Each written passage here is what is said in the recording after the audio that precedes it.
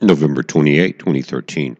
Guys, I'm getting a closer look at the uh, nucleus of ISON. Now, the image is upside down. That's the way it came in. Remember in the last video, you can flip it over. But guys, I'm going through the different temperatures here, different exposure times. And with this fan pattern that I'm seeing, and look at the hot spot, it's no longer in the tip as I go through this. The larger chunk is in the rear. That's telling me because we've got that fine point, and as I go through it, you'll see what a V and a fanned out pattern is that we've got a lot of debris here.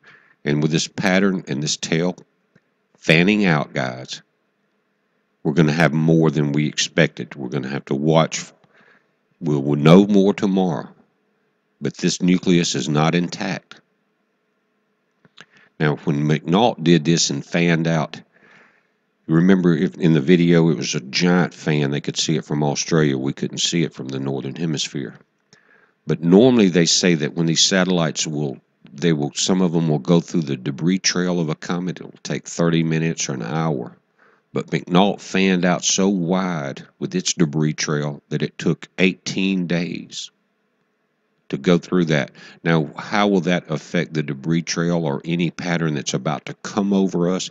It won't affect the debris trail that we're going to go through in January. But now that ISON is a turning and is about to come over the Earth, will this wide fan pattern affect the next few weeks? We're going to watch it, guys. It's a heads up. But this nucleus is not intact, and we're, it's starting to fan out. Again, you can see the solar activity on the left. But what, because of the tip, I think that debris is leading it. The larger object is in the rear again. Even when I brighten the temperatures or take them down, the main object is still in the rear. And what could have happened under those extreme that extreme pressure and temperatures is that it disintegrated even further and we have multiple objects.